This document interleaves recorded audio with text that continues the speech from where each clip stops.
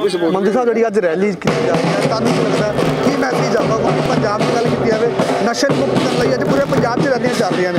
ਦੇਖੋ ਸਾਡਾ ਫਰਜ਼ ਬਣਦਾ ਜੇ ਅਸੀਂ ਆਪਣੀ ਨੌਜਵਾਨੀ ਬਚਾਉਣੀ ਆ ਤਾਂ ਉਹਦੇ ਵਾਸਤੇ ਨਸ਼ਿਆਂ ਦੇ ਖਿਲਾਫ ਹੈ ਜਿਹੜਾ ਸਾਨੂੰ ਇਕਜੁੱਟ ਹੋਣ ਦੀ ਲੋੜ ਹੈ ਸੋ ਨਸ਼ਿਆਂ ਦੇ ਖਿਲਾਫ ਇਕਜੁੱਟ ਹੋਣ ਦੇ ਵਾਸਤੇ ਅੱਜ ਸ਼ਹਿਰ ਪਟਿਆਲਾ ਦੇ ਵਿੱਚ ਜ਼ਿਲ੍ਹਾ ਪ੍ਰਸ਼ਾਸਨ ਵੱਲੋਂ ਉਹ ਜਿਹੜਾ ਹੈਗਾ ਇੱਕ ਨਸ਼ਾ ਖਿਲਾਫ ਜਾਗਰੂਕ ਰੈਲੀ ਆ ਜਿਹੜੀ ਰੱਖੀ ਗਈ ਆ ਜਿਸ ਦੇ ਵਿੱਚ ਸ਼ਹਿਰ ਦੇ ਸਾਰੇ ਪਤਵੰਤੇ ਸੱਜਣ ਵੱਖ-ਵੱਖ ਸਕੂਲਾਂ ਦੇ ਬੱਚੇ ਨੇ ਜਿਹੜੇ ਉਹ ਪਹੁੰਚੇ ਨੇ ਉਹ ਸਾਡਾ ਮੋਟਿਵ ਹੈ ਕਿ ਪੰਜਾ ਨਸ਼ਾ ਮੁਕਤ ਪੰਜਾਬ ਬਣਾਉਣਾ। ਕੀ ਲੱਗਦਾ ਮੰਤਰੀ ਸਾਹਿਬ ਪਿਛਲੀਆਂ ਸਰਕਾਰਾਂ ਦੀ ਗੱਲ ਕੀਤੀ ਜਾਵੇ ਜਦੋਂ ਅਕਸਰ ਹੀ ਨਸ਼ਾ ਦੀ ਗੱਲ ਕੀਤੀ ਜਾਂਦੀ ਸੀ ਤਾਂ ਪੋਲੀਟੀਕਲ ਬੰਦਿਆਂ ਦਾ ਨਾਮ ਆਉਂਦਾ ਸੀ ਜਿਵੇਂ ਤੁਸੀਂ ਸਟੇਜ ਤੋਂ ਕਿਹਾ ਉਹ ਕੀ ਦੁਬਾਰਾ ਇੱਕ ਵਾਰ ਰਿਪੀਟ ਕਰ ਦਿਓ ਦੇਖੋ ਮੈਂ ਕਹਿਣਾ ਚਾਹੂੰਗਾ ਕਿ